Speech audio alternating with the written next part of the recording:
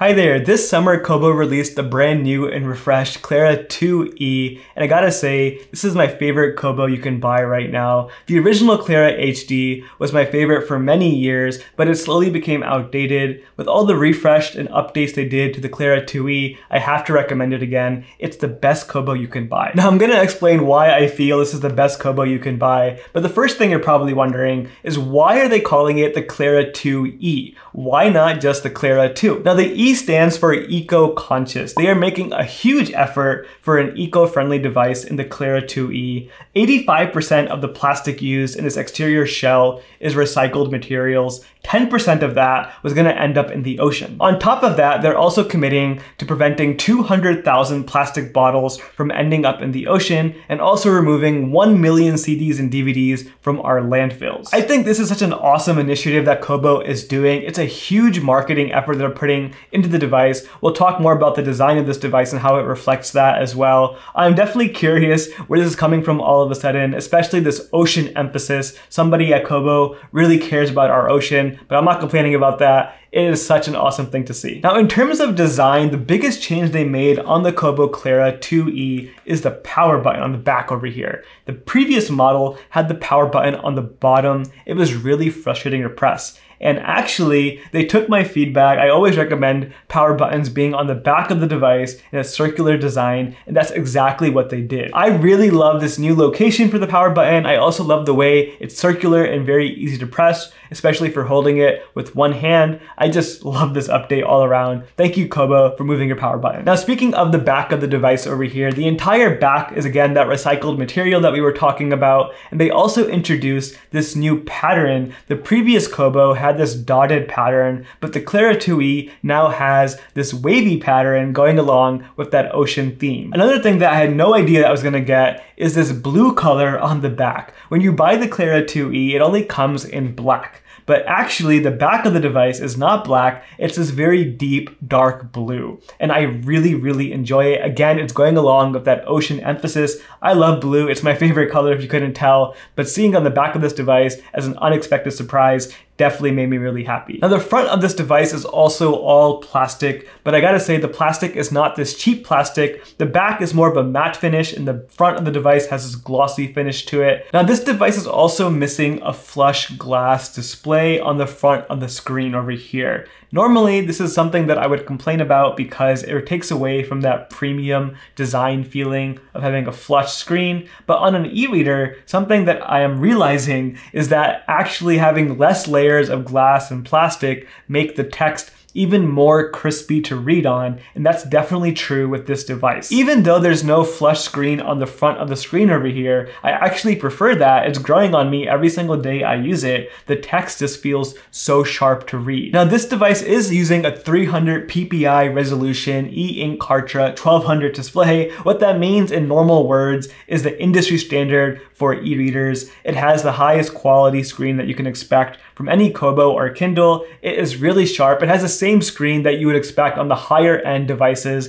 so no worries there at all in terms of screen resolution. The Clara 2e also offers dark mode support, so you can invert your colors depending on your personal preference, and there's also adjustable warm light, which is something that I think is an essential feature, especially if you read at night. Kobo markets this feature as Comfort Light Pro. It's basically this warm tinted color that comes up on the screen, which makes your device a bit more natural and pleasant to look at while you're reading at night. So I definitely recommend that if you read it at night in bed especially. Now this device does not have an ambient light sensor like you might see on some of the higher end e-readers. That's not the biggest deal. All that means is you'll have to adjust the brightness manually. So if you move around quite a bit, that might get a little annoying, but it's not a deal breaker by any means. One other major selling point of the Clara 2e that sets it apart from all the other Kobos and even Kindles out there is the 6 inch display. This is definitely on the smaller size when it comes to e-reader screens, and I have to say, after using my Paperwhite and my other Kobos with the larger screen, going back to a smaller size screen was a very refreshing experience. It just feels a lot more compact to hold, more portable to carry around with me. I also love how the screen size is smaller, so I am turning pages a lot more often, which makes me feel like I'm reading faster. That's all in my head though, so it's not actually a hack to read quicker.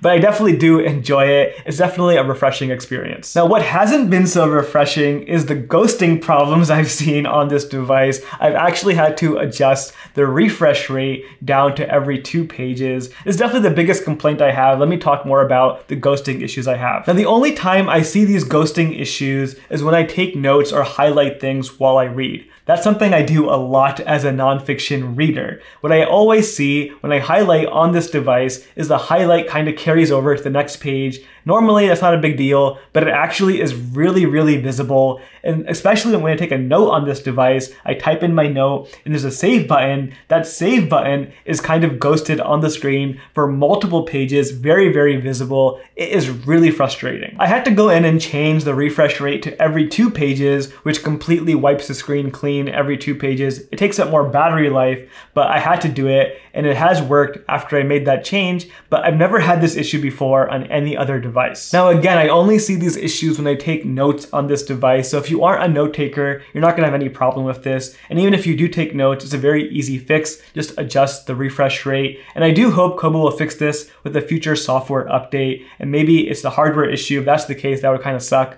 But if it's a software issue, they can definitely fix this down the road. We'll have to see. Now, speaking of highlighting and taking notes, the other complaint I have is the device just feels a bit more sluggish than I'm used to as well. Taking notes especially is really slow. Typing on this device is worse than I'm used to. As well as the highlighting, I really don't like highlighting on this device. Putting the ghosting issues aside, putting the toggles exactly where I want them to be. It works definitely better than my Nook, but not as nice as my Kindle. It's kind of in the middle. The experience could definitely be improved. Some other notable features of the Clara 2e, this device does have a 1 gigahertz processor, which is pretty standard in today's world. It also has 16 gigs of storage, which is definitely an increase from what we're used to seeing. This probably won't affect most people uh, books on your e-reader don't really take up much storage, but it will impact people who use audiobooks, and this device does have built-in Bluetooth. So if you want to pair the Kobo Clara 2e with Bluetooth speakers or Bluetooth headphones, having that extra storage for audiobooks will definitely come in handy. Some other quality of life upgrades, this device also has waterproofing, which is really helpful for people who like to read in the bath or in the pool or by the beach. And also we finally have USB-C on the Clara. I love this the most. I travel quite a bit with my e-readers, so having one charging cable for all my devices is really helpful. In terms of battery life, I've only had this device now for a few weeks, and it does work really, really well. They advertise multiple weeks of battery life for any Kobo you buy,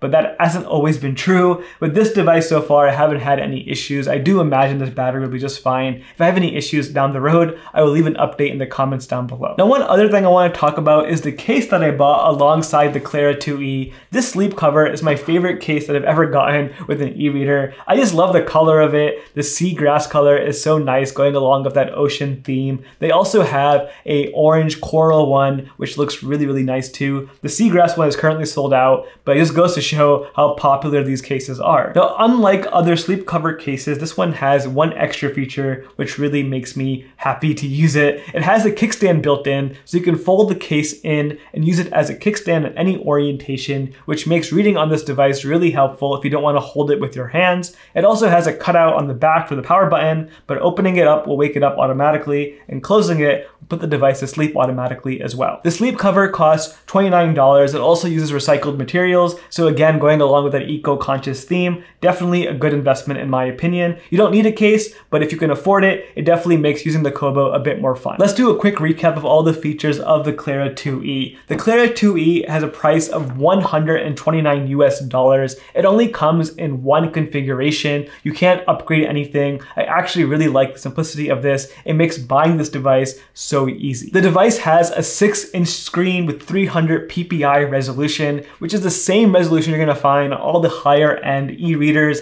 And the 6 inch screen is very, very portable and compact, which is definitely a selling point compared to other devices. With the display, you're also getting adjustable warm light control in dark mode, which comes in very handy for reading at night especially. And you're also getting built-in waterproofing so you can read in the bath or by the pool if you want to do that. The Clara 2e also has built-in Bluetooth support, which can be great for listening to audiobooks. You also have more storage for storing those audiobooks and the device also comes with USB-C so you can charge it with one cable along all your other devices. Most importantly, the Clara 2E is eco-friendly. 85% recycled materials on the plastic of this device. That's the most recycled materials I've seen on a plastic shelf or any device before. Definitely respect Kobo for doing that. And if you want to learn more about the Kobo experience in terms of the software, there's so much more to talk about in terms of actually using this device. I have a whole video that compares Kobo to Kindle so you can see all the differences there. Link for that on the screen right now. Thank you so much for watching. I'll see you next time.